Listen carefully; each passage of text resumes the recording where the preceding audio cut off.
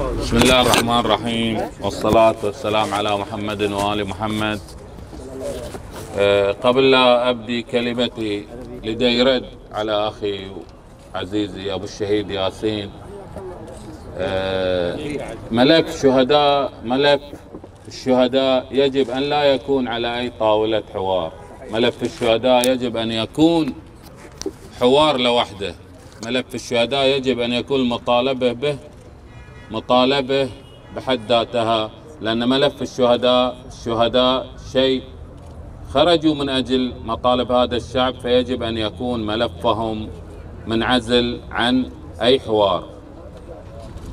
نحن هنا جميعا أمام هذه الرياض رياض الشهداء.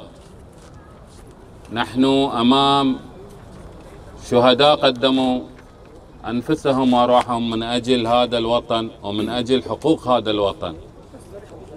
لم ينالوا حقهم في المطالبة بعقاب والقصاص ممن قتلهم. نعيد ذكرى 14 فبراير ونتذكر الشهيد علي مشيمع ونتذكر الشهيد حسين الجزيري الذين سقطوا في هذا اليوم من أجل مطالبة هذا الشعب بحقوقه نحن نتضامن معهم ونسير على خطهم جميعا.